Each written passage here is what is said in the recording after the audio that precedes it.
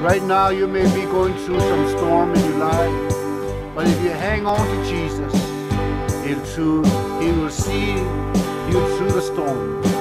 This song is I'm about to sing is called Ride Out Your Storm. You can do it. Ride out your storm.